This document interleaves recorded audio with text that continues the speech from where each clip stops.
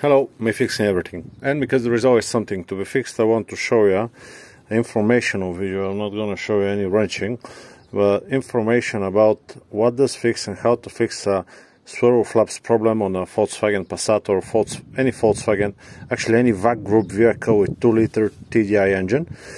Um, this vacuum type of uh, inlet manifold and vacuum because it's with this type of vacuum, what you can do is take a metal inlet manifold without any swivel flaps, plug the vacuum line. Okay, plug it in. You don't you can leave it here, but there is no point. Even if you plug it in, it's the same. You know, if it's not doing anything, you can you can just plug it in and just fit. This one is this one is from a BKD engine, but I think another codes actually use it. This one is being a Volkswagen Touran uh, this is a Volkswagen Passat. Golf Hazard. You can find it on a on a inline like this. Um, give me a second.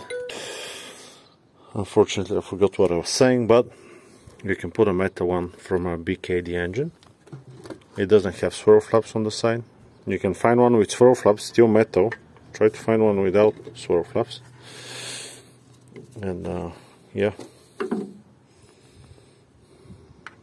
That's what it is. Here this bolt is getting unused. Maybe a few brackets needs to be changed but the bolting is still exactly the same. I hope this video is being oh don't forget to change the